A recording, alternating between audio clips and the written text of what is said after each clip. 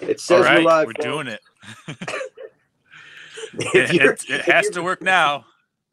If you've been hanging around for the last tw- 11 minutes, uh, we um, had some technical difficulties, and that's on my side. So we're going to get right to the point here. I'm going to try things a little Can you see the chat? Uh, I, I can see it on the. Yeah, I mean on the screen I see. Ask people if they're hearing the same thing I'm hearing because maybe it's me and it doesn't even matter.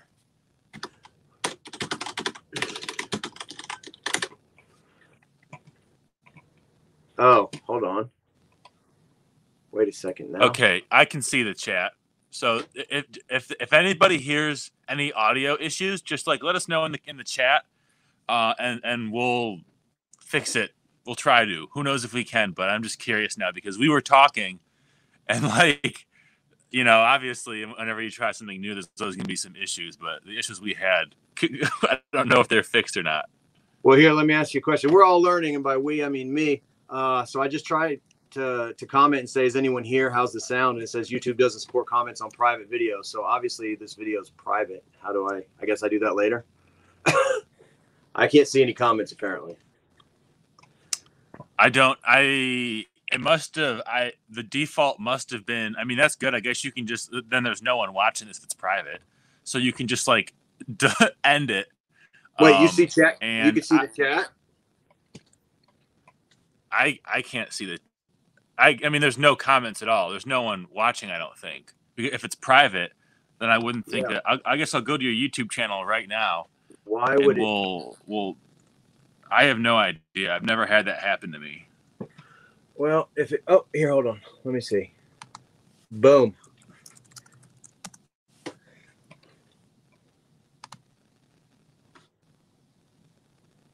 Okay, it says live on your YouTube channel.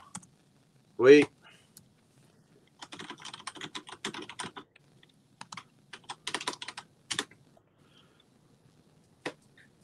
Did that pop up? Okay, yeah, it looks like it's streaming. So We're even though it says people. private, it's, it's not private. I think, I think we've been live for like two minutes. that's all right. It's still it's still probably better two minute content than uh, a lot of other stuff going on. Uh, anyway, hello anybody that's watching this. Sorry for the the whatever. That's that's life uh, when you're flip the world. I'm gonna try and not mess this up and make too much noise. We're gonna get right into it, guys. I'm not gonna let him. I'm gonna say who he is and then have him do it. I'm just gonna tell you. This is Walter Blake Knoblock. He is the reason that I even started reselling. Uh, he is famous for being on Extreme Unboxing. It's the show that takes unboxing to the extreme. Um, and uh, just to give you a backstory, the reason I picked him to be the first um, punishment on my live is I got started reselling probably, I was- it like 2016, 17 is when you put out that video. 2017 So I had it planned to eight- have a 18 even maybe. I think it was 17, but either way, he made a video on making like 15 or 20 thousand dollars a year selling used VCRs, and I don't know where or how it popped up in my recommended on YouTube because at the time I wasn't even considering reselling or anything. I just had other things going on, and for whatever reason, it annoyed me, and I wanted to make it my mission to prove that he was full of shit. nope. So the next day, Stacy and I went to a Goodwill. I found a VCR. It was a Magnavox. I had my Amazon account. I listed it, and before we went to bed at midnight, midnight I got a notification that it had sold for like ninety something dollars. And I want to say I either commented or I reached out to you through Instagram. and was just like, I thought you were full of shit, but you're not. I don't, I don't even remember. I'm yeah, but I, I remember like you telling me that story, but I don't remember it happening at all. yeah, it um, it Or it might have been a- like a YouTube comment. Yeah, I think it was on on the YouTube video. I had said like, came here to prove you wrong. Damn it, if it didn't sell in the 24 hours, you know? yeah, great, great PR for the video.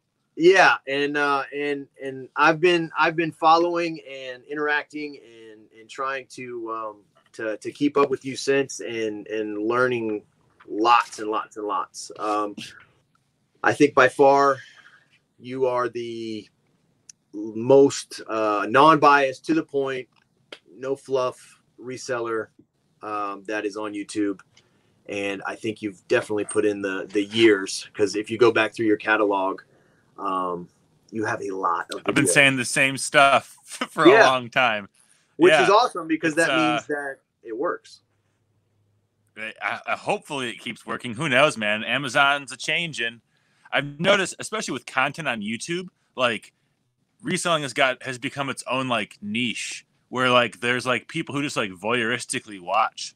Like thrift hauls are a great example of that, where not many folks are gonna t- get the kind of information they can make money with watching thrift hauls. But for most channels, those are the most popular videos like that they have, or like thrift with me, or that kind of stuff. Whereas I would think, um, like what sold videos are probably the most useful. But when I post like a what sold video, it gets like a third of the views. When I post like a ride along with me as I buy these things, um, because I think there are people who just like want to like watch someone else do the work, which is kind of shitty, but that's the internet, I guess. It's uh, it's the being part of the treasure hunt, but not actually having to do any of the work. Yeah, putting no skin in the game, not having Yeah. a messy ass warehouse like me.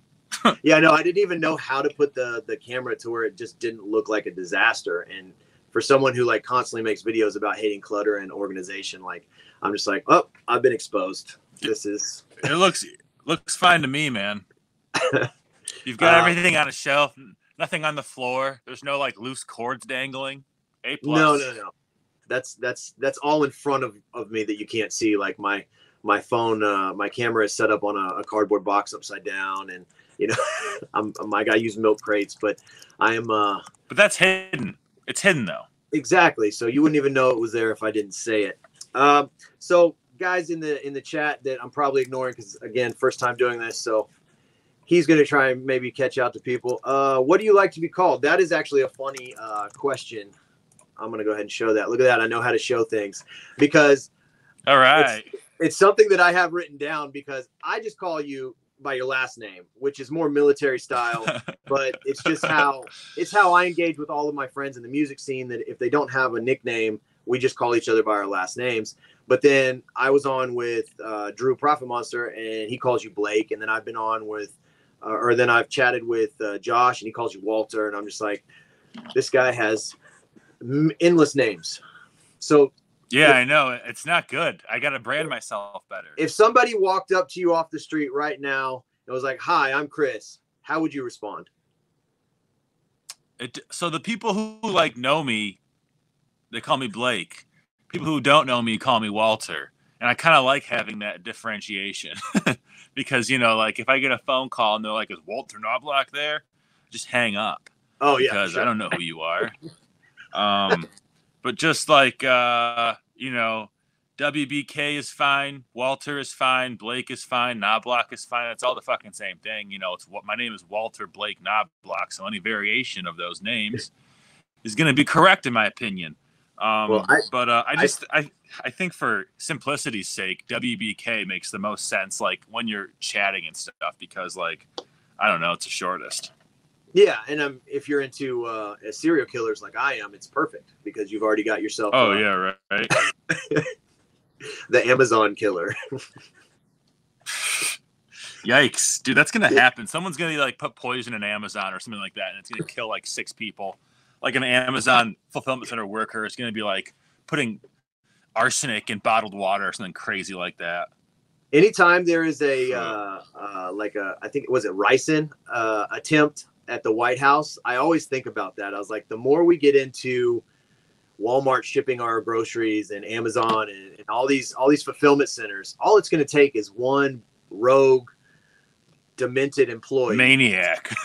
just- it's like how do you have 27 people in 25 different states all die of the same thing at the same time within the same three day span oh well it had to come from a fulfillment yeah, right. I mean, it's getting to that point where that I'm surprised that there hasn't been like lower. Maybe there have, and they just catch it. Like I mean, I know that theft is a big issue, so Yeah. they have to have cameras. But like, what if someone like, like you know, takes a banana? I, I- I don't know. I can't think of anything off top. Like someone takes a stuffed animal and like rubs it on their butt and then puts it into a box. Like, how do they catch that? I don't know, but the visual's hilarious. That would be a great YouTube channel. It's just like caught on camera, Amazon Ugh. Filament Factory. what you really don't know goes on. And that's why you have to Yeah, put things all the- all the- bags. Right? It's actually a, a butt protection bag. yeah, that way if you order something from Amazon and it comes and the bag's like shiny or extra greasy, you know, like, oh man. Return that. Send it back. You don't want to touch it. See, guys, I told you it was not going to be your regular live. We're getting into the real stuff This that we think about. this is how I my live streams are like when I'm talking to people it's so low quality in reg- in terms of like actual information being conveyed because all I do is just like go off on tangents and talk about random stuff because I, I talk about fucking Amazon all goddamn day. So Yeah. I'm just like, oh, a chance not like do you dread when people ask you what you do? I Yeah, hate I- that question because like the UPS guy asked me today, he's like, So what are you doing there? And I was like, Do I tell him that I'm like a part-time social media influencer slash garbage reseller? Like, what do I say? Because that sounds like pathetic and terrible. And maybe it is. Maybe I just need to change my life, but I don't think it's pathetic and terrible. Um, but just like the way that the way that people understand like selling things on eBay and making YouTube videos is still stuck in like 2005 or 2007 where just Yeah. like it's like what kids do when they're wasting time and not like a way to convey information or provide value to people like i don't want to you know you can't be like i made this much money of course it's real because then you're an asshole but like Yeah, that's I- I that's just, the uh, uh, that's the dilemma I have with as far as like putting out content is okay. If you're a reseller in this niche, your options are what's sold videos, thrift haul videos, bolo videos, tips videos, or you go live and you talk uh, about. we've all had these things. talks. Yeah, and so yeah. This, that's why this is a theme. maybe a video a week from me or or you know I, i'm trying to get more into reels because it seems like that's more my thing because i can do a bunch of different impersonations and i'm just a generally goofy guy. No money uh, on reels though.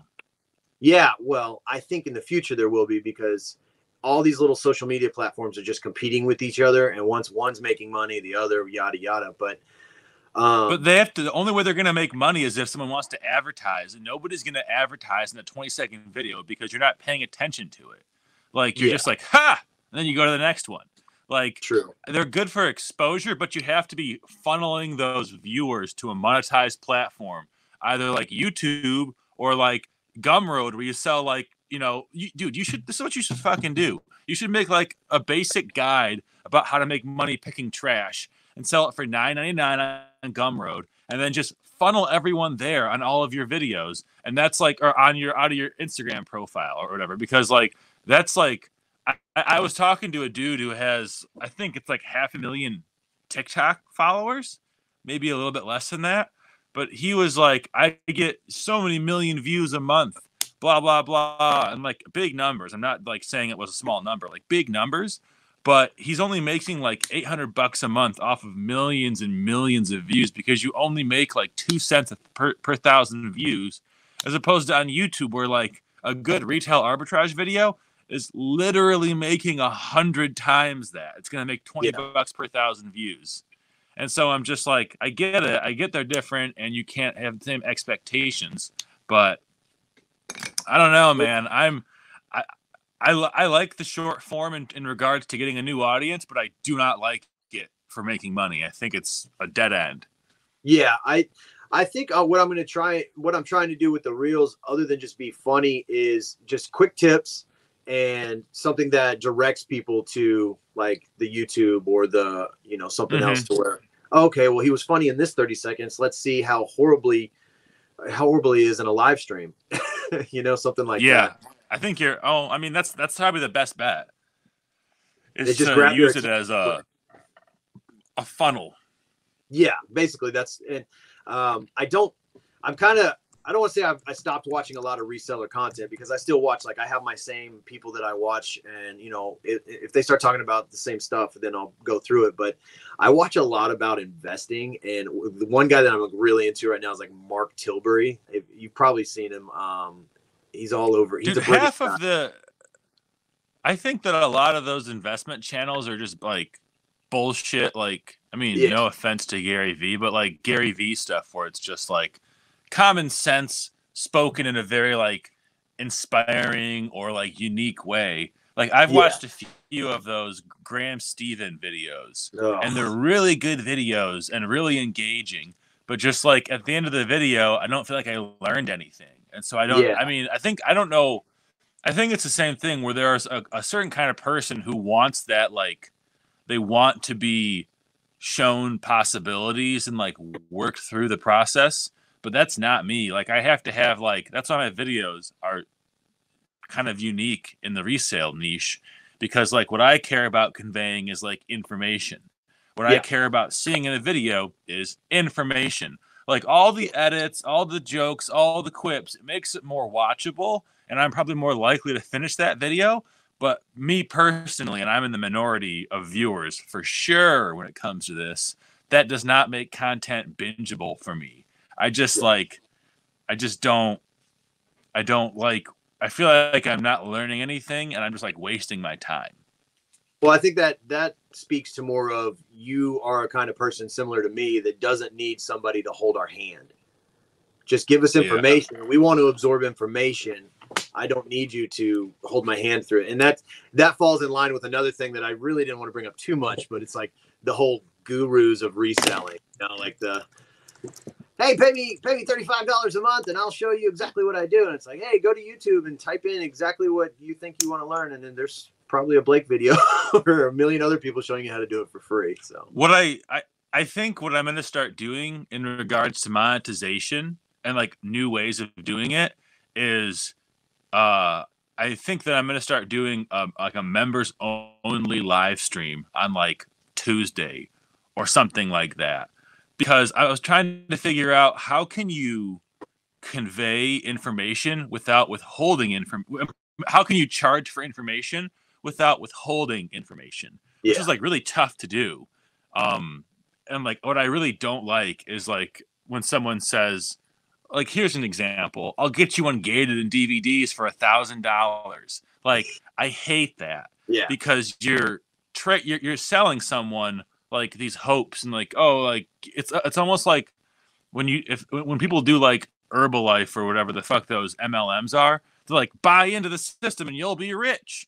When really yeah. their main goal is to get you to buy in. So like the people who sell these thousand dollar DVD courses, their main goal isn't to get you ungated; it's to sell you the course. Yeah, and like whatever, it's their it's their hustle. I don't. I'm not judging anybody's hustle. I'm just saying like as a consumer, that's a big red flag for me.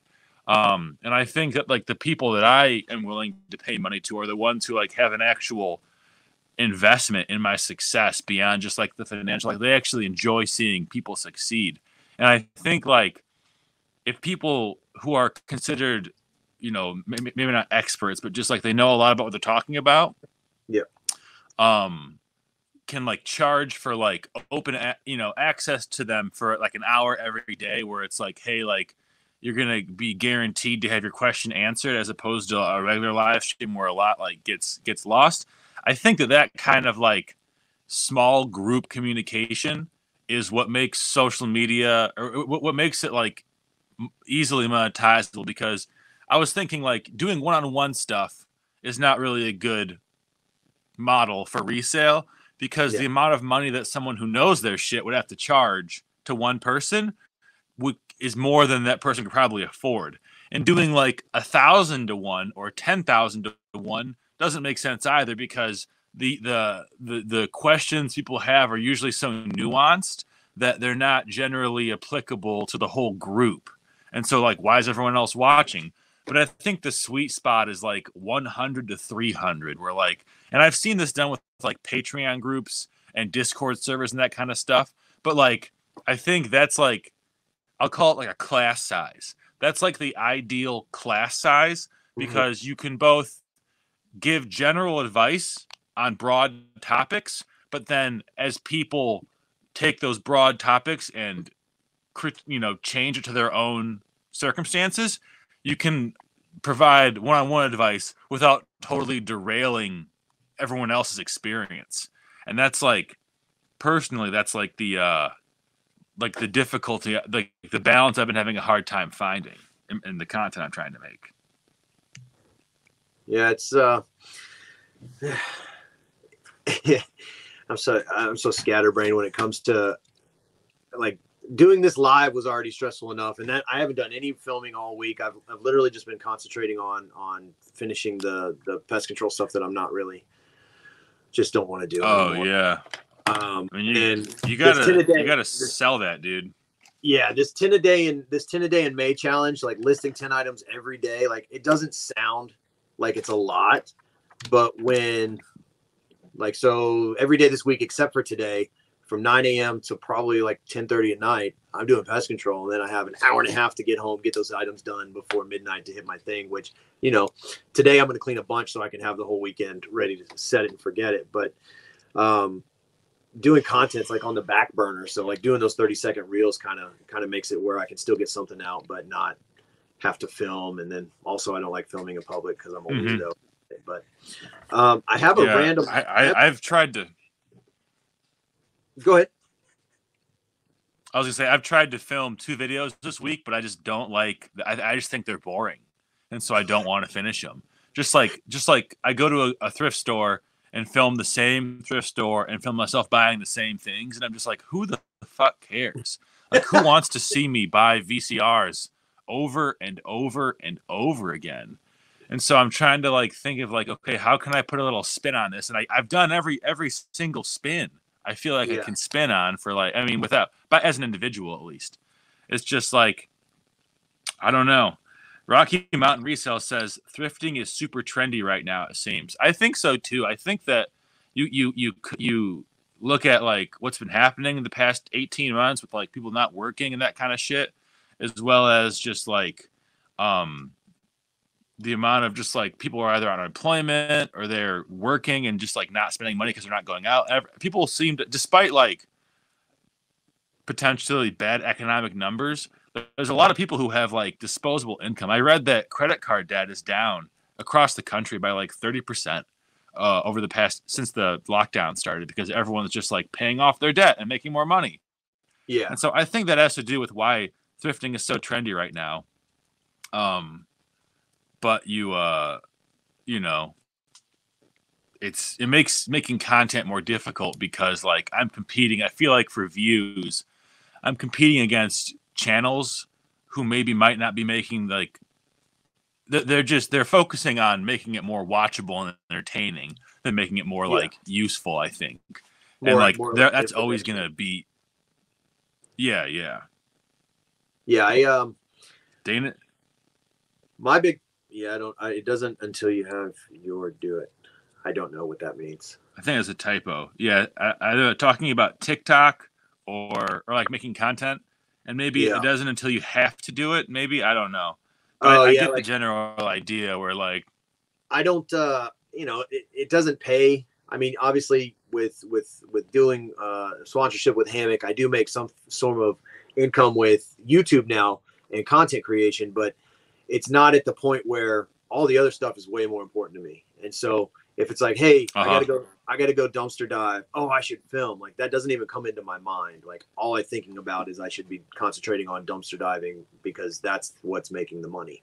Or I should be concentrating at the mm-hmm. bins mm-hmm. and not trying to not trying to film. I need both hands so I can fight off these uh these crazy Throw some bows. yeah, like I can't hold my phone and film or wear it on my my chesticle mount and look like a like a like a nerd and elbow you know 50 year old nigerian women Dude, you got to, to me in the head. You gotta wear that's what dante does. He wears a chest mount i think. And it just like makes the it makes the the video feel so much more like you're there. It's um, like those uh, the nearest those, bins. I say it's like those RPG games, like those those like I see my I see the kids, yeah, and I'm just like, oh, first person shooters. yeah. Uh, how much growth did I see from my from the reseller bracket? um, a pretty pretty awesome amount.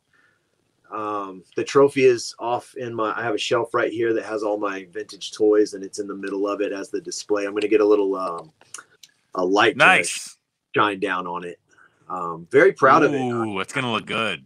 Yeah, you know, is is something that that I you know most people didn't take seriously. I I just thought it was fun um, to to come out to come out victorious when I you know I'm just a a, a dumb dude from Texas that just knows knows how to uh, corral people into into doing things that'll potentially help me out. So that's really what I did. I reached out to my you got it. Yeah, I, I I took it outside You of got a lot of favors stored up. Yeah, I took it outside of reselling. I hit up the the music scene. I hit up the tattoo scene. I hit up you know friends and fa- you know I basically I basically uh, pyramid triangled this thing into a victory. You know they always say your- your first customers, friends, and family. So that's what I did. I said, hey, go do this. What is it? Who cares? Just click my picture. You know. uh, YouTube grew pretty quick. Um, my big my big problem on YouTube is just I, I'm not consistent. Um, my content is is scattered, and and I if I don't feel like filming, I just don't do it. So, um, and I know that's that is actually hurting me, but that's That's just it bad. Yeah, you got to You got to put out. That's that's why I do the, the live streams. Or I'm getting back into doing them. I took like a month and a half off to see what happened to my channel, uh, and like definitely the live streams, having that routine live stream helps like all my other videos um, get served for people like in their recommended or whatever. Dante says, "Oh, so you cheated." Dante, if you're not cheating, the rules. you're not winning. No. there was no rules. I created I created a Did I see- thousand Instagram accounts just so I could sit there and vote for myself. uh, no, that was uh. They said, did I see an amount? I think I I had about a thousand Instagram followers in, increased, which is pretty huge. Uh, and then I didn't see anything on YouTube really at all, any large bump. yeah, But on Instagram, funny. it grew. I, I don't. I'm, I'm bad at Instagram though. I don't post enough. once uh once we got You have to like, post every round- fucking day. Yeah, well, technically, you're supposed to post uh, at least four times a day. It's kind of like sharing on Poshmark. You're supposed to do it at the party times, and I can't stand all of that. Four So- Instagram posts a day.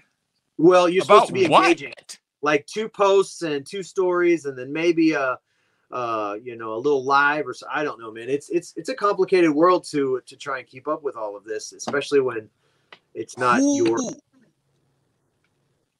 Yeah, How do you run a business and post four TikToks and four Instagrams and film a YouTube video? And you know how like it just seems like impossible. Impossible. yeah. you have to well, focus on like, all right, I'm gonna put reselling on the back burner. I'm gonna put content on the back burner every once in a while. well that's the thing is is um the people that are the people that are focusing like that on instagram that is their business so that's what they're they're putting their you know uh what it, what is it Renzi now and then say always you throw fire on what's working. So if, if you're making all your money off of social media then then this is not what you're focusing on and that's why you have death piles and stuff like that. But um i can't i Yeah, can't right. so i post when i can and then you know I, I know I need a schedule, and part of that will come once I can remove the the brick and mortar of having to go out and do pest control and follow up calls and all this other stuff. And luckily, Stacy takes care of a lot of the like the calls and the annoying stuff that I can't stand. I just kill things. I show up and I kill things. That's that's pretty much what I Exter- do. I mean, yeah, you're an exterminator. Yeah. Yeah. Um, I do have some non-reselling questions because I wrote because I told you I kind of wanted to do this like that show Hot Takes if you've ever watched that, but I want it to be like cold takes. Um, so if anybody doesn't know, you've done stand-up comedy, so I think that's another reason that we we kind of men- mesh so well is because you you That was a, a lifetime ago. Yeah. I know I was gonna I was gonna use the photo that I found because what's hilarious to me and and I've never like researched you, so it's funny that it came up as like the third search on Google. But when I typed in Walter Blake Knoblock, the third thing said net worth, which I thought was hilarious. So you've obviously done something to to become net worthy on Google. But if you just I'm look at on, your I'm on TV, man. I'm on Yeah, TV. if you look at your photos, you scroll down through all these like young, clean shaven model type photos. You see one where you're like sitting on a chair doing comedy, and so that's why I was like, oh, I should I should bring up that he that he used to do comedy. Do you remember like any of your bits? Like, do you remember like one? Like, what was your style? Like, who would you compare yourself to? Uh, it was a lot of like short stories that ended in one-liners. Like some comedians are like relatable, and some comedians tell jokes. And I definitely was like set up punchline, set up punchline. Um, So like real world stuff. the, the you no like like wordplay and like Oh, very like esoteric dumb topics and it was like i was basically like a hipster comedian but i was very vulgar. Uh and that that made it hard to to find Yeah. a lot of audiences that liked me. Um like it's the kind of thing where like the people who run the comedy shows would like me but the audience would be like what the fuck is this guy talking about? Like why is he making jokes about like Ro- rorschach ink blots and like you know then he, I, j- just like not um i only did it for like two or three years because the money wasn't there and you have to put in a lot of work doing the same at least for most people not everyone obviously. Like you have some really famous comedians who just like make a new set every three months. But the majority of comedians who are like trying to make their way out of like the midwest get one really good act. Like you know they get 10 good minutes and then they get a really good half hour and they keep doing that same act over and over and Yeah. over and over and over and over again and I, I didn't have the drive to do that. I had no desire at all to be telling the same jokes to fucking people who didn't get my jokes until Yeah. i you know was able to have 40 minutes that i could headline for five years and then finally like become like you know a writer for some sitcom in los angeles. That didn't seem like that i didn't want to do that. So i just kind of stopped and you know you can still make jokes on youtube i guess Yeah, yeah, for sure. The, the well, I was gonna say because you you said uh, you were you were just more vulgar. So do you do you feel like you hold back on your on your non live videos that you put on YouTube just because of monetization? Yeah, definitely. And also, um, it's I feel like I don't, especially in the beginning of a video, like if you swear or whatever, um, that makes it more uh, what's it called? That makes it less likely to get like higher serving ads. Um, but mostly it's just because I I want to have like a broader audience, and I feel like there are some people who don't like swearing at all, and they're never gonna like me. But there's a lot of people who are okay with like a little bit of like vulgarity, you know, sprinkled in. Um, Yeah. But I can't just be like cursing like a sailor because there are that for some people, for a, much larger portion than I would have assumed, that that they find that distracting. Yeah, I mean, to me, Uh, they're all just words, but yeah. I I mean, I I definitely toned down my my personality. I mean, you you know my my other my other you know social medias and stuff. So you know you know my other the real my- you. Yeah, you know the non try to get paid me. Um but uh the the metal lead singer. yeah, it's it's tough at times because you see so much of the same stuff in the in the reselling community or or or uh, this is going to be such a good segue in the in the reseller groups on like Facebook that you just want to like reach through the screen and just start smashing their head into their computer because it's like please stop asking or saying the same stupid thing but um, the WBK Ultra group on Facebook doesn't have a lot of that and um, there's a little plug for that uh, I kick think out that- so many people. I was going to ask you how how much work is it to to handle that group and keep it the way that that you keep it? I try and make one post a week, and then I try and go through and read all the posts once a week. And when I read all the posts of the past week, that's when I go through and kick people out. Yeah. Because just like there are so many people who feel entitled to using this, like one of the few groups on Facebook that I've ever seen that like is not meant to be like you were kicked out. Probably for flexing them Are guns. you sure? I probably blocked yeah, her. Um, maybe. maybe I don't. I don't think I kicked you out, but maybe I did. Um, it's uh, so many people are just like, I want to complain about like politics or like why is this happening with culture and just like okay yeah. go somewhere where people give a shit about that like nobody Yeah. wa- nobody came to this facebook group about reselling to hear your very very just like polarizing opinion on like anything it doesn't fucking matter and no one's here for that so why are you doing it if no one wants to hear your opinion it's probably a bad opinion yeah. like- and it has nothing to do with research. like, oh, but what about like, what about like, you know, Galileo? He had an unpopular opinion. No, he fucking didn't. There were, you know, there's a difference between like a, an opinion that like, oh, the people I'm, you know, who the, the king doesn't like it, and like, um, you know, you have a whole group of people who follow you around who who, who like it. Like Galileo had students and schools uh, after his line of thinking. Like he wasn't just like one lone guy being like, well, actually, the fucking Earth is a triangle. Like that's the kind of bullshit that I see people saying, and I'm just like, just because you're taking the contrarian point of view doesn't mean it's like unique or novel. It means that you're you don't have the ability to be like intelligent or creative, and you're just going to the first thing that differentiates you from the group because you crave attention. That's like what I think about those people. And I just they, they don't even get a warning. They're just gone. I just say you're not helping the group at all. Yeah, you're not providing value to anybody. You're just trying. You're a leech. You're a, a an attention leech, and I hate people like that.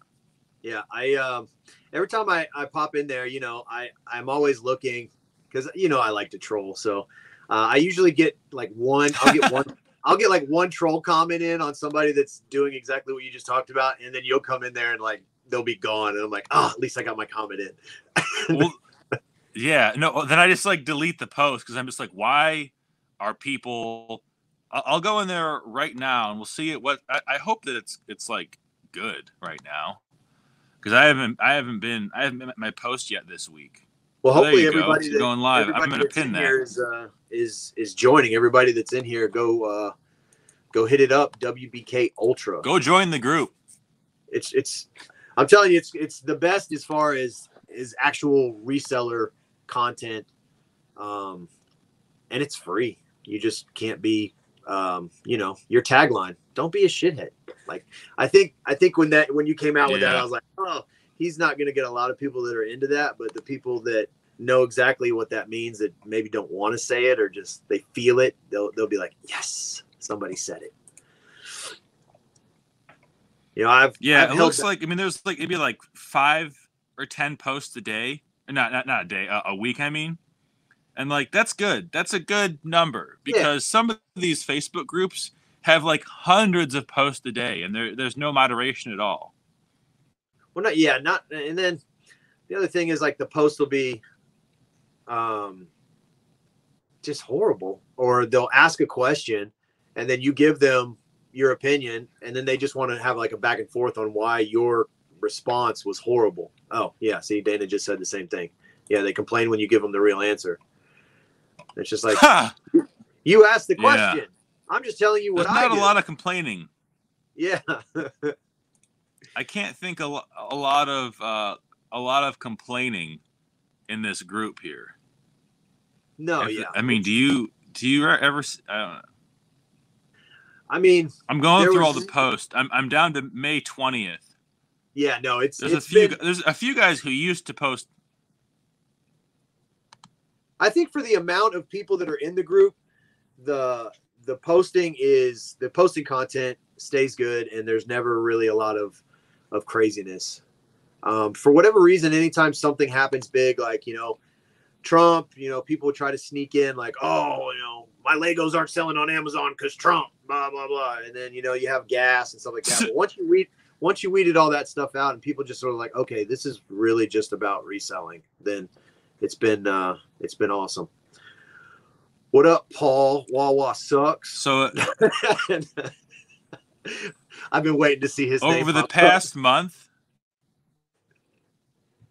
over the past month, there's been three thousand, about four thousand active members. Yeah. and the group has about seven thousand people. Yeah, I think a lot and of the most, if like, you're curious, the most. What are you saying? Oh, I was gonna say, I think most people that are in that group actually just read and, and keep up with what's going on. They don't really have, uh, they don't want to say anything, Definitely. make a post. They just want to learn, which is awesome because, um, you know, I I know That's what it's I'm- for. I feel I'm very good at my things that I do, and for the things that I'm not good at, I go to the I go to that group and I look for it. Yeah. Oh, I, I the most Trump popular time to go on the group is 9 p.m. Yeah. oh, that's funny. You know what? Uh, Whoa, So what an I- intro, says Philly Flipper. oh, dude, I've been I've been waiting for his name to pop up this whole time. Uh, funny. The intro is just like an like a minute and a half of us not knowing what's going on. Yeah, well, that's probably how I'm going to do every live if I do this weekly.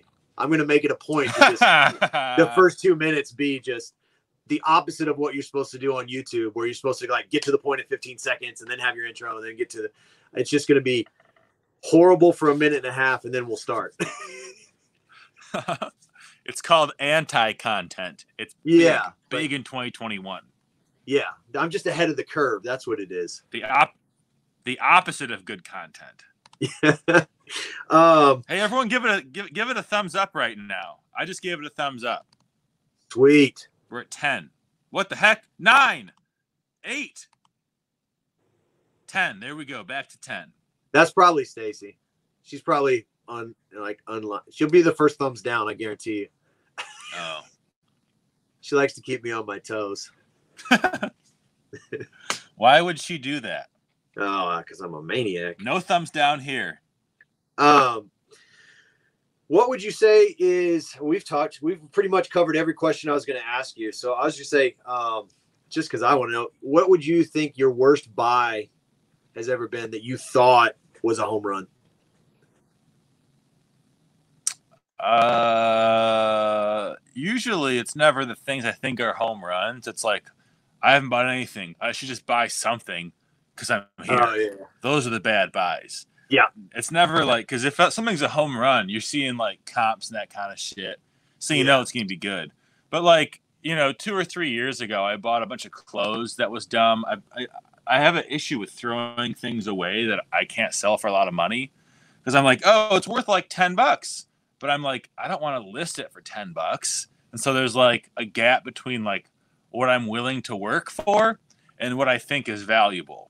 And so like the issues I have are not with buying, but with just like processing inventory and like being smart about it, you know? yeah. Oh, I've definitely Knowing what definitely to throw away and what to what to keep. Like Yeah. or, or like actually that isn't even it because I, I know what to do. I just don't do it. Like I know wh- what I where I should be at. But I just like don't I, I have these like hoarding tendencies where I'm just like, no, like things could get tough and I could be thankful I have this ten dollar action figure. Like, what are you talking about, Blake? That's insane. Yeah. And That's my like brain is how my so mind works. Spectrum. Yeah, my brain's on the other spectrum with that. So it's, I'm like, have I used this? Have I worn this? Have I touched this in the last six months? No, out of here. Ha! Yeah, I need to have more of a mentality like that. Like everyone in my family is like, uh, everyone like my my grandparents, I guess, because they like grew up in like the Great Depression, and I think it just like skipped my parents and then went on to me. I have like a Great Depression mentality where I'm just like, hold on to everything. You might you might need these bits of string. Like you could make a you know you could tie them together and make one big string. Like what? and then flip it for a for a million man. dollars. Yeah, I even, Yeah, I even, no, for, for twenty five cents. I even weaned out my like my Simpsons collection because I just one day I was I, I was looking at it and I was like, this is too much. You're almost forty. So I, I well, I mean, uh, hey man, good for you for for getting for getting rid of that. Well, I I, uh, I made a lot on eBay and I sold it, so it worked. It worked out pretty well. How much Uh, you get for it? Uh, ninety dollars free shipping, and it was it was about ninety percent plush, and it just went to uh, it went to San Antonio, so it wasn't very expensive. Oh wow, nice.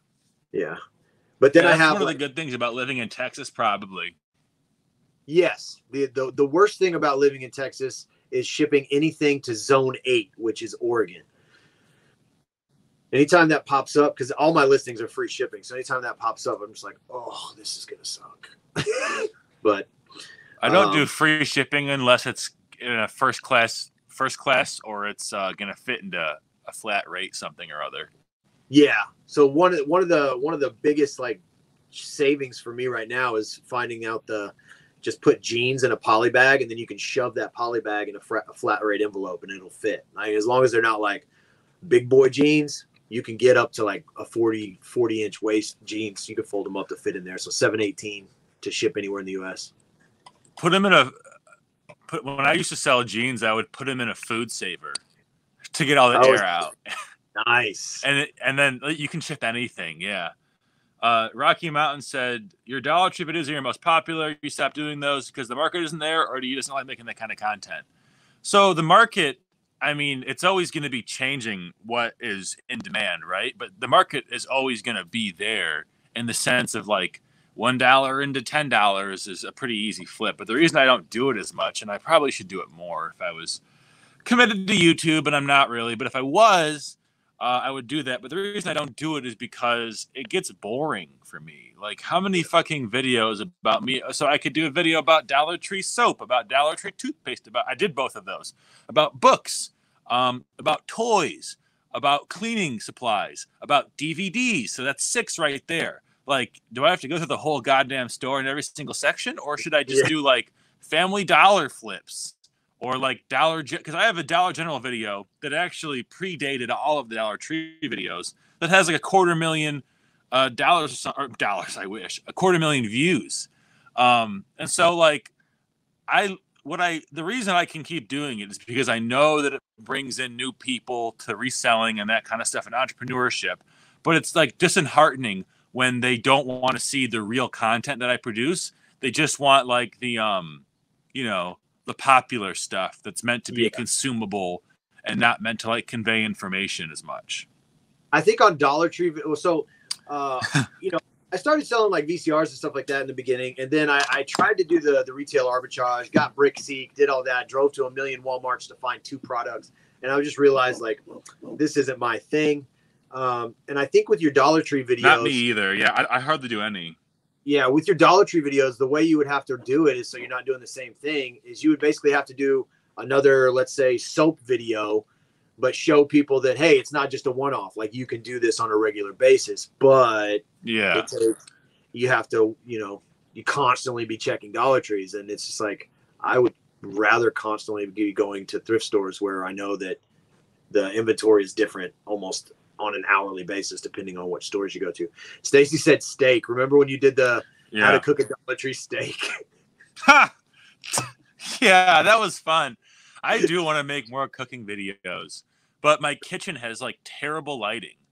Um, and so like there's not it's just too small and it's bad lighting, but hopefully in the near future I can have a larger, brighter kitchen setup to do more cooking stuff. Like that's what I want to do is make more like if I'm gonna make like content that's not like directly related to making money, it's gonna be about things that I really like genuinely care about.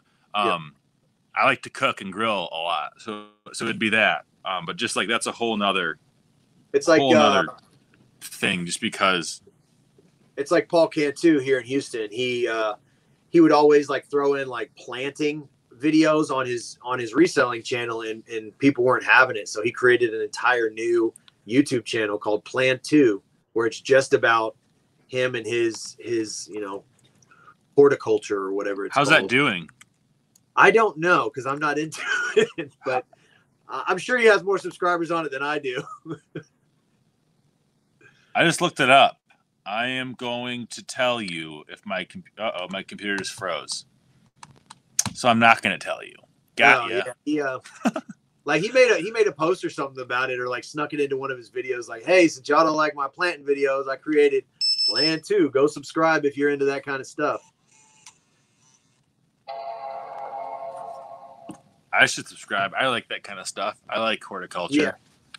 Well, I like that he. uh I like what he does with like beater like Nikes and stuff. Is he has like terracotta paint and he will paint them until they harden, and then he puts like fake plants in them and like sells them as like a shoe planter. Like he does that at all the trade Huh. shows when he That's goes and like meets up with Slobby Robbie and them. That's that's kind of like one of his his drawing points at his booth. Other than just being a, a, a very odd. Do you know a lot about Slobby Robbie? Uh not not too much. I mean, we used to we used to chat it up like before the show and everything like that, and uh he seemed like the weirdo he is. I, I don't. So I don't know when he's lying or when he's telling the truth. Yeah, I, like, I don't know how to like separate the character from the real person I don't. because I don't know him. either. I think I've talked to him like like one time on Instagram. I don't think. Yeah, because like he I was had to- talking about how he was like just in jail. Yeah, well, I think he's talking about he was in social media jail. He got he got like Yeah, but off. like say that. yeah. So well, no, you have to make it Say that specifically. You have to flex that way. It's more of a oh, you know, free slobby. You can start that whole trend and stuff like that. But what it was was it had something to do with uh with like his bootlegs or something like that. Yeah, that's why I thought he was in really in jail. Yeah, no. Um I don't think they it, it was it, wa- it was just social media, but I don't think he um I don't think he can separate himself from the from the character, honestly. I mean, I don't know him personally, but I don't think he could uh do it. No, I he said we were Now that's have, an uh, interesting. he said we were gonna have bad boys playing since we're the bad boys reseller, but that's actually someone else's thing. But I was I refused to change it because it wouldn't be very bad boy of me to change my uh my thumbnail just because someone else has it. Oh, social media jail does is greater than Well, also jail. that's been the thing like for years and years and years and years. Social media, oh yeah, I'm sure. I can only tell you about county Uh, federal. All Plan and, uh, Two has three thousand four hundred and forty subscribers. I told you planning would have double what I have. Not social media jail. No, yeah, I've never been. To social, I've never been yeah, to the videos media. look really good, but nobody gives a shit about him.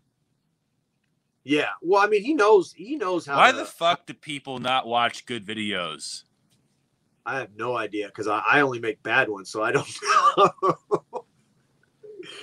uh, I, uh, like a video like that that's like well edited and conveys information why is that not doing as good as like you know him making a, a thrift haul video where he's just like making weird noises and like using slang a lot oh man, you know Speaking of, speaking of weird noises, I learned from my buddy that doing those um, those noise loop videos on YouTube is big money. Like it's just you put up like a stock photo of let's say what the fuck is the noise loop video okay? So let's say that I wanted to, oh yeah I wanted to add screaming to one of my videos. I would just put up a video that's just a black screen and or it shows like somebody screaming like a stock footage and then it's just a loop of different screams.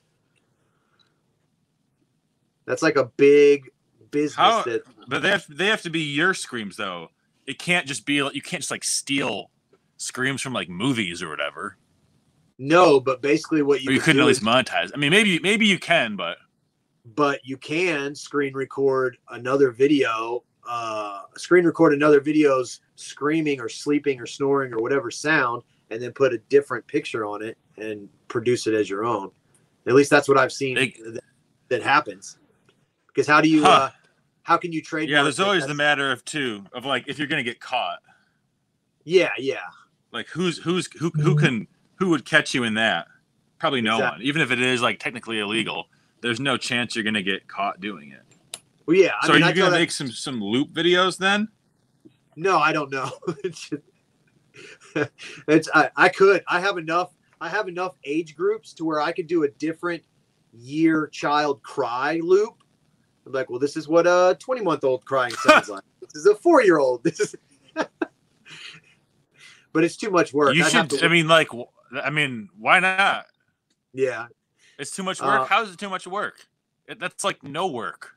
Yeah, yeah. Except making them cry because I'd want it to be genuine. So that's a lot of spankings. But Just like, that hey, I'm up- going to give you this ice cream. No, I'm not. yeah, this is authentic crying. This isn't staged. be genuine This is about child abuse cry. Oh god, yeah. See, that's what would Uh, happen. All, all of a you- sudden, CP, you- you- CPS. this is the real. Yeah. This is the Man, sound of real cops away- in my house. so all that. uh what i what i i thought about that too. What i wanted to do is live stream my backyard with like animals and squirrels. Um just like what they do throughout the day. And i never got around to it because new channels can't live stream for more or there's like rules about that. But i was like man like there's got to be people who just like want to or like like put this in front of your pets when when you're gone and they can pretend that they're outside with squirrels. Kind of depressing i guess you think about it like that. But like those videos have to make some money too right? Yeah, yeah, or like cute dog videos. I'm just like, man, what if I just put the camera on and just did a whole live of my dog sleeping because he snores so loud, and just people Make would just watch him. make a second channel. Make a Well, channel the- called animal noises. I don't fucking know Yeah. Well, one thing I, i think was it's a youtube about- channel uh, animal Well, I mean, apparently, if you search uh, cows mooing, uh, look at the views. They're like the top videos. But uh, that's One- insane i just I looked was- up I was thinking of one channel that I could do, and it's only because I've dedicated 10 years of learning all of this garbage, is just do a side channel where I'm literally just teaching people how to do professional pest control at home, buying the same chemicals from the same company. Of course, I've been telling you that for years, dude. Years. I- I've been telling you that. That's so, there's I- so much money in that. I know. And then everybody in the, and then my chemical rep will be like, dude, I can't use you anymore. But I'm like, well, if I send people, because you could buy the same products I use as long as you're not using them on anyone else's house but your own. Because that's when it becomes you're now trying to be a business. Uh, you know, you can spray your house, you can spray your mom's house, but you can't go spray, you know, your cut, you know, guy five streets down that's got a bug problem. But it's just, I don't Yeah, know. just say that. That's that's your disclaimer. yeah. I, I don't want to turn So into I, the new. I looked up. I don't I want to was gonna into say I looked up animal sounds for children. Animal sounds for children. Twenty amazing animals. It was uploaded July twenty third, twenty fifteen. Guess how many views it has? probably uh, I don't know, over over over three hundred thousand. You're gonna be low. Oh wow, You're gonna be Okay. low no matter what number you guess. I'm pretty sure. one point five million. Oh, oh my god, it's lower than that. On 130 million, What? 500,000, 130.5 million views. It's got 265,000, 100,000 thumbs up and 174,000 thumbs down. Comments have been turned off. This must just be like a very toxic, toxic environment. Oh yeah, I probably got I, uh. How's it?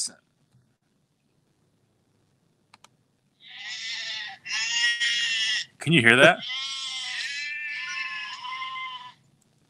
Can I use that as my next video intro? Yeah, sure. Oh my god. but you see what you can make This money is off what I now. can't compete against. I don't know what the uh I don't know what This- the this pay per click video- is. Has they have this, this single video has 20 times more, more than 20 times, 22 times almost more views than my entire entire YouTube channel. and it's sheep doing their thing. Wow. And horses. And horses. Oh well, they've got two animals. No wonder they have.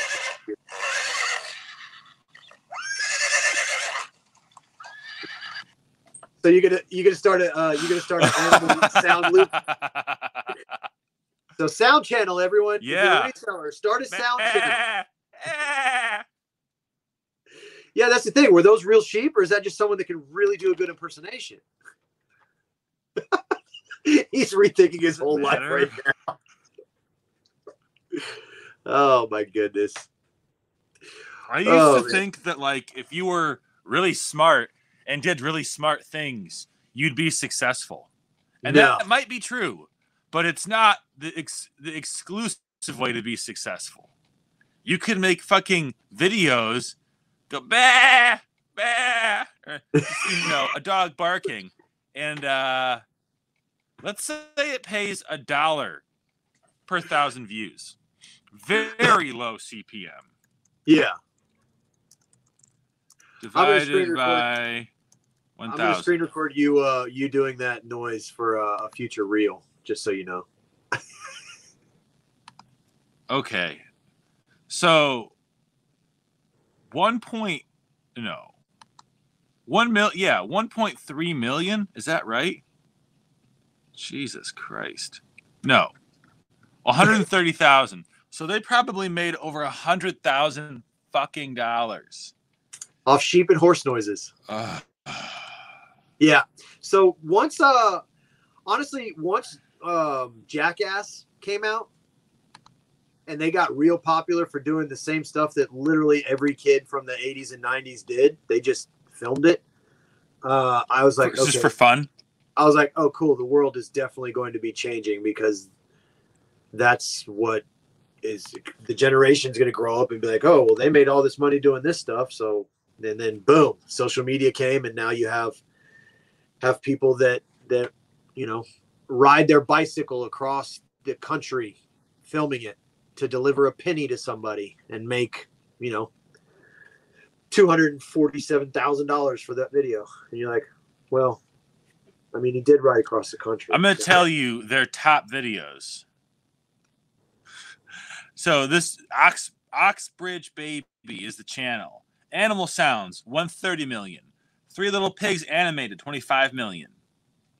Then we go down a little bit. Learn to Talk complete DVD by Oxbridge Baby 7 million. What the fuck is this?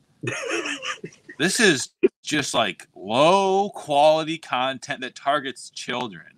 I feel like I've ruined your Totally entire okay. day. You're just gonna go down this wormhole of, I'm gonna, hey, I'm Blake, and this is my new animal sound. Meh.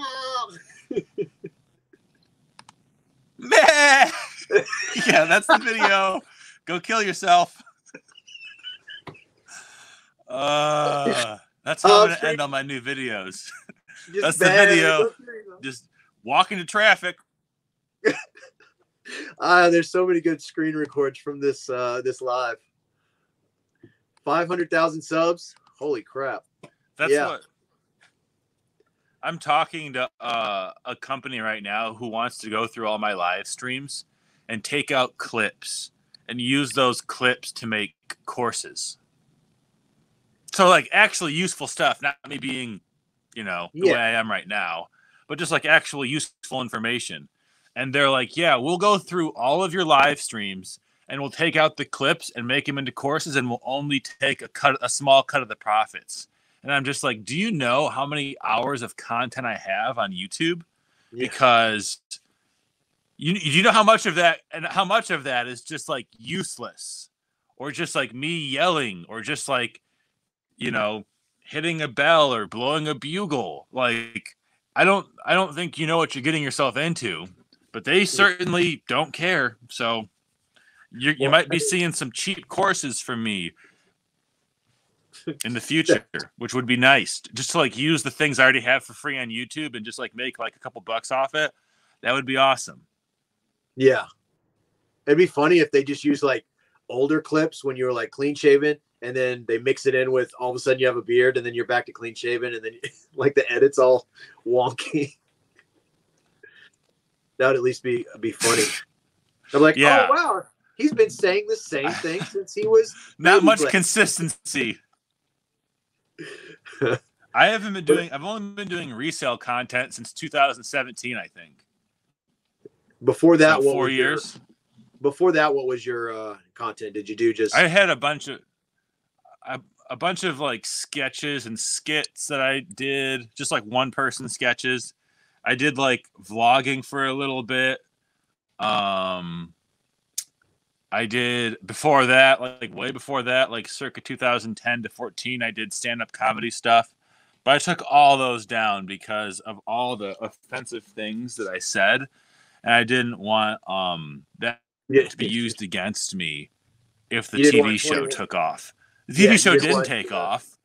So I just wasted my time. You didn't want 2021 to happen, where everybody's like, um, Chris. Uh, 15 years ago, you played a show in uh, San Diego, and on the microphone, you said, like, yeah, probably. I don't know. It's You, 15 you years You stuck ago. your guitar up someone's butt. Yeah. Well, did I? the least, end of your guitar and you you stuck it up someone's butt. but What do you I think at least? about that now? did I strum it? Was I in tune? You know? hey, they pay 15 bucks. They got their money's worth. Yeah. I mean, that cost somebody. That cost an American like a thousand dollars in Amsterdam. You got it for free. But that's just the way. That's- what I noticed though about like the whole idea of ca- the whole idea about cancel culture is the only people who get canceled are the people who portray themselves as being like holier than thou. You know, Yeah.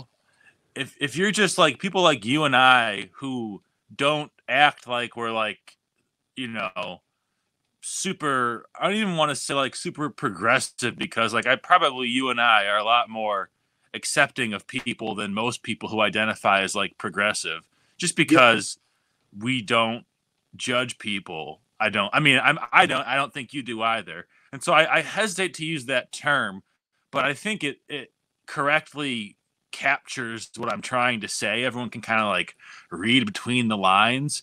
Yeah. it's the people who are like that who are like calling everyone out for their you know bullshit cultural faux pas yeah. uh, and then doing it themselves. And it's like that level of hypocrisy that people are able to use to fuel their hatred. Whereas, like, I don't think you and I are hypocrites. We're not, you know, we're not like um, saving the world or anything, but we're not lying about what we're doing. You know, we're, we're, we're both very genuine people. And if you're genuine, it's hard to cancel someone who's genuine because the only people who follow them already know what they're getting into. That's why you Yeah. don't see like, and I, I'm not comparing us to like, like real racists, but like you don't see white supremacists getting canceled because the people who follow them already fucking know that. Yeah. That's like their thing. Like Yeah. who was that? There was this is a, a I forget his name. He was some dude from like Montana and he was like a straight up like real white nationalist. He had a little bit of, of fame during Trump's election or whatever because someone punched him. It's just things that You talking about I don't give a shit about. Yeah. Every I mean no, no, no, no, no, no. I'm he, he's like a Ben Shapiro is a little smarmy bastard, but I I, don't what think that many folks would about. call him like a what I'm sure they would, but not it's some it's like, something and then there became this whole like debate of like yeah and then it was like can you punch a nazi and i was like i don't know are you gonna do it like i don't give a shit if you do as long as you're not it's just the kind of thing where like this hypothetical makes no sense because yeah. you're on your computer. Like it's a lot different when you're walking and someone's you know like like walking down the street and you see somebody doing bullshit like that as opposed to just like hypo- hypothetically talking about it. But I, the guy what the fuck this guy he's a he's a piece of shit and no one likes him except for the people who are trying to like justify their own like weird racist views and you can't cancel that because everyone already fucking hates him except for the losers who follow him and so it's just like the only folks who are getting canceled are the opposite of that. Um as as just like terrible as that guy was at least he wasn't a hypocrite like you Yeah. know at least he was consistent in his views. And like that kind of you can be a terrible person but as long as you're genuinely terrible like um this there's something that like a marilyn manson quote that i really like a lot is like you only need to have 1 million people in the world like you and you'll be famous forever and Yeah. like that doesn't take into account what what you're famous for what it's good for but if like that if notoriety is your goal because you have you know stunted personal development or whatever, then like I I understand I, I don't agree with what they do, but I understand it's like it's a logical progression to do Yeah. that kind of stuff because you know like because I'm going to attach myself to something so horrible, there's always going to be a market for me no matter how much hate I get or how low the level of output my content is because people are here not for me but for this like extremely unpopular opinion. Yeah, and uh, and I mean that's that's the thing. Uh, I, I, there's been multiple. Again, I'm gonna bring up serial killers. I, they kind of fascinate me, but um, um, a lot of the Yeah, serial killers tell you, exactly. Serial killers is a be great like- example. if I'm gonna if I'm I'm still famous, you know, it doesn't matter. You, you can get famous. It just doesn't. You know, Richard Spencer. Yeah, I, I was thinking it was either going to be Shapiro or Spencer because I think both of them have been punched, but one of them was more. uh That's the guy's name.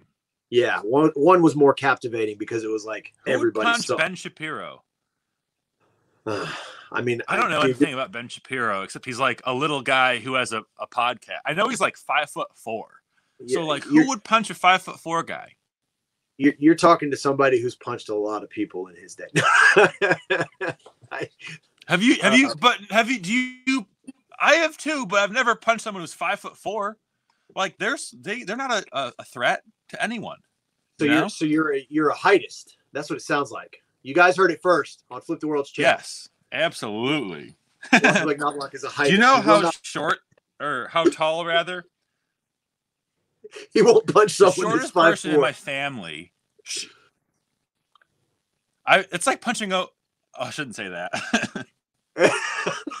um, the shortest person in my family is six foot two. So and and that's he he's like a shorty. He like he's short. We make fun of him for, for being so short. And so just like if I see someone who's like talking shit to me who's five foot four, a man, or anyone for that matter, the last thought in my head is I'm gonna Punch. attack this person because I might kill them. I don't want to go to jail for punching a five foot four person. you just pop on the top of the Yeah, bop him on the down. head. You just like settle down now. Dude, so the shortest person in Uh, your family is six two. Where what part of, of Norway or, or where Vikings live are is your family from? the northern part of Norway. I you had to. I knew it was from the land of giants. I mean, you guys are probably the ones that put those giant swords Yeah. in the mountain. Holy crap! That was that was uh I looked up I did a 23andme a few years ago back before you had to give your real name when they were first starting off.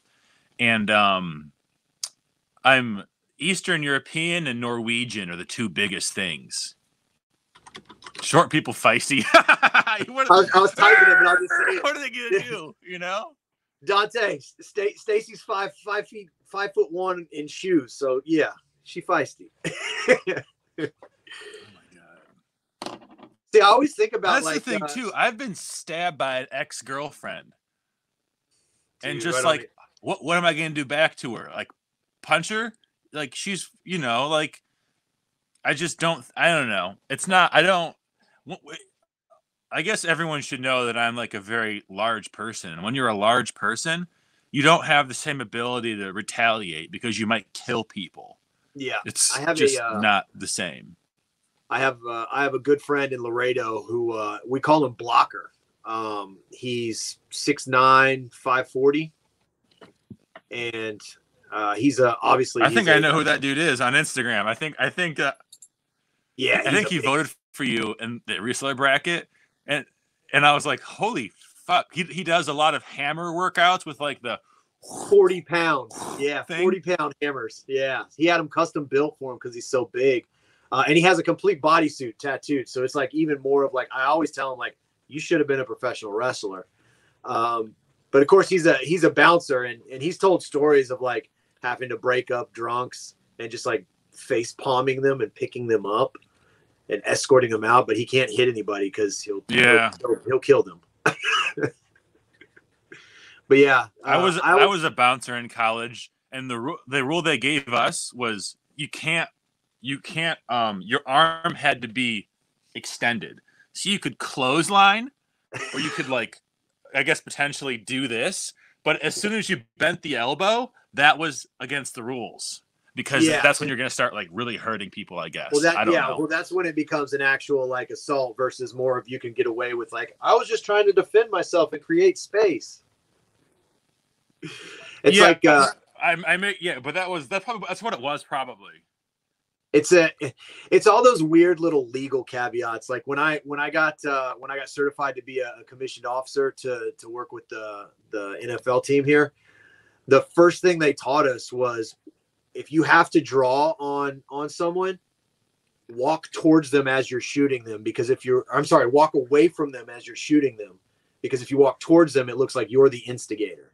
But if you're walking away shooting it looks like you were scared for your life. I'm like, wow, you're just teaching people how to kill That themselves, is ridiculous. how to kill other people. This is crazy. There's I don't so that anymore, many, so many of those dumb little loophole caveats. Oh yeah, I would never ever be a bouncer again. I did it when I was like 22 or 23. Yeah. 21 or 22. Um, and it was just like, you know, when someone, it, wa- what it was is it was dudes in the football team at Eastern Michigan. So I must have been 22 or 23. Um, we're bouncers in Ann Arbor, which is like the rich, you know, town across town. Um, and they would have dudes who couldn't show up to work or whatever, and I would just fill in occasionally. So I only did it like five or five or seven times, but just like not not fun work. Really, really annoying. I thought it would be cool. I was like, I'll meet girls, all this stuff. No, it's like the worst job ever. Anything where you have to deal with people who are drunk and tell them what they don't want to hear is the worst job ever. No, honestly, yeah, that's that's so I've done I've done a lot of security and bounce work, and that's exactly like, oh man, I'm gonna meet these people. and everything. Like, no, you end up dealing with the people that you want to avoid at all costs, the drunks, and that's why I, I did Uber. Uh, I drove for Uber for like maybe four or five months, and I was like, this sucks. Everybody getting in my car is drunk, and they're annoying, and I don't want them in my car. and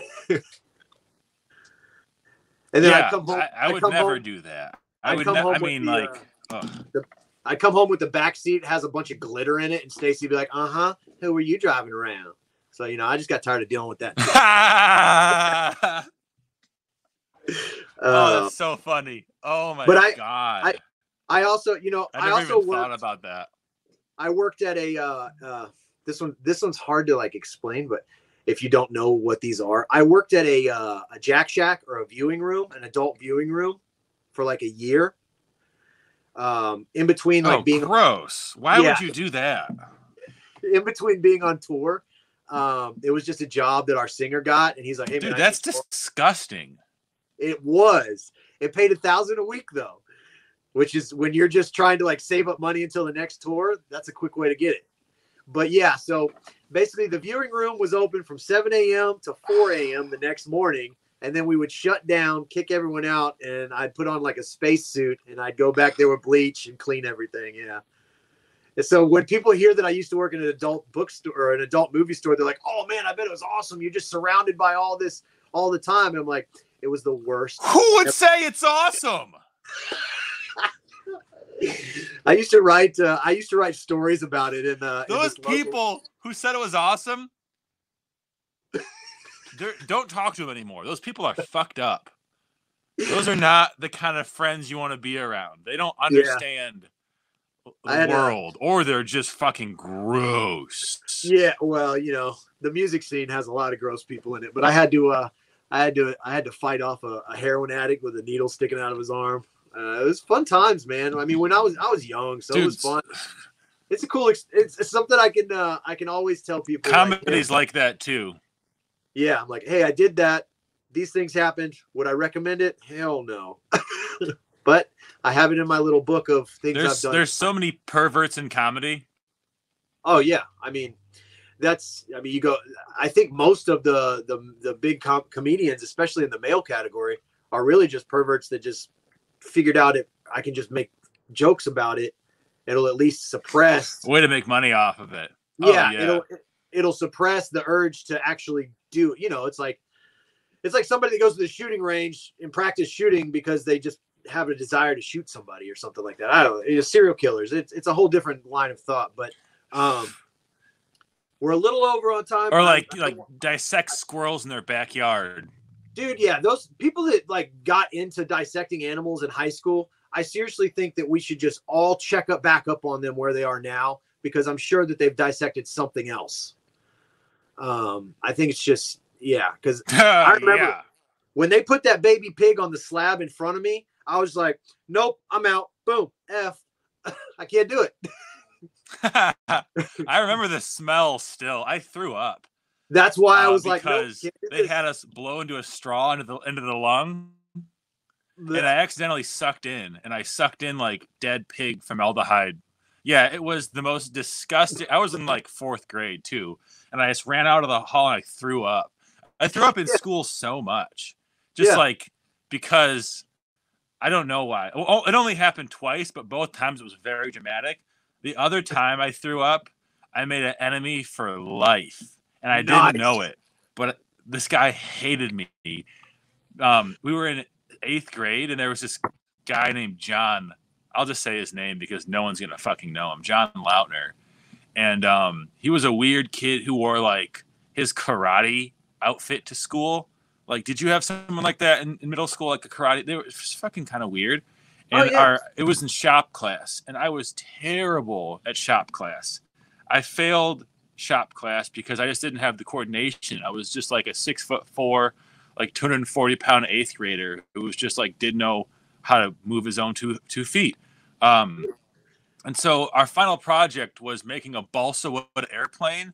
And so the frame was balsa wood, and then you used like a very thin paper to like make the wing structure and, and allow it to have more surface area to get lift and all that bullshit. Um, and mine sucked. It flew like eight feet, but John's was really good. I mean, really, really good. He put a lot of work into it. His miter cuts were a plus. Um, and it was the last day we were going to throw all our planes.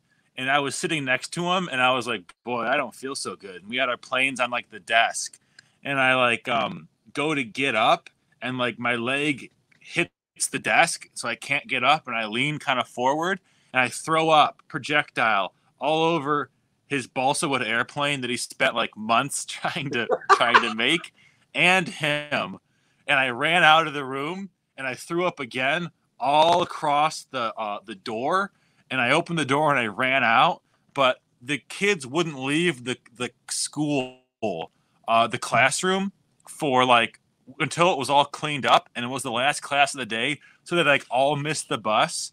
And John Lautner's parents like couldn't come pick him up, so he just had to sit in his karate fucking vest covered in vomit. Didn't get to fly his plane for like two hours after school ended, and nobody would talk to him because he smells like vomit.